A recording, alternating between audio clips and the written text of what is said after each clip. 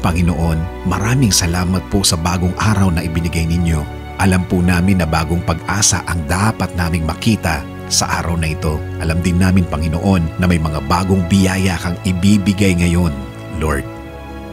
Panginoon, inaamin po namin na kami ngayon ay parang wala ng lakas. Parang drain na drain na po kami. Parang wala na kaming ibibigay na lakas dahil sa problemang nasa aming mga buhay ngayon. Panginoon, alam po namin na dapat po magtiwala sa inyo at ibigay ang lahat ng nagpapahirap sa amin at isuko ang lahat ng nagpapabigat sa aming mga puso. Patawad po Panginoon dahil nagkulang na naman kami ng pagtitiwala sa inyo.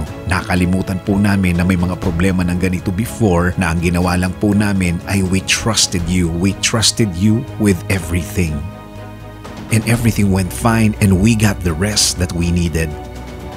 Lord, starting now, it will be different. We will fully trust you and believe you. We know, Lord, that there is no impossible things for you, na lahat ay magiging magaan kapag nagtiwala lang sa inyo. Lord, pagod na kaming mapagod. Sabi niyo po sa inyong word na isuko ang lahat sa inyo. This is exactly what we're going to do now, Lord.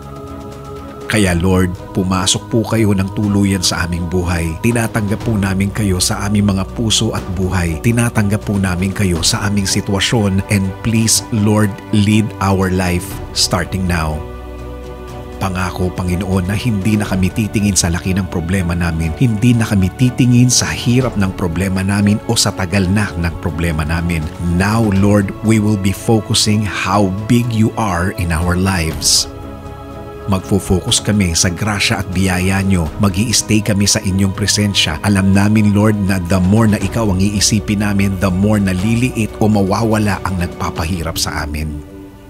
Kung ang tingin namin sa aming sitwasyon ay imposible ng malusutan, lagi naming isa sa isip na walang imposible sa inyo, Panginoon, at ang kapangyarihan niyo po ay more than enough para kami tulungan at ialis kami sa problemadong sitwasyon namin, Panginoon. At Panginoon, ipapakita namin sa mundo at sasabihin sa mga taong malalapit sa amin na wala na sa amin ang pag-aalala dahil alam namin na lagi kang nakaalalay sa amin. Again, Lord, thank you for always giving us the forgiveness and unconditional love. This is our prayer. In Jesus' name, Amen.